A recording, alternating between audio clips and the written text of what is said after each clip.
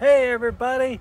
Well, I thought I'd come up here to the roof of the villa so I can show you all the stuff going on here. We are crazy busy at Pufferfish Villas.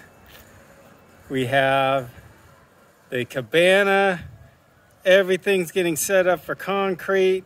We've got our screens all in and all the rest of the forms for the concrete are going in. And our laundry maintenance building is ready for the slab to be poured. So super exciting.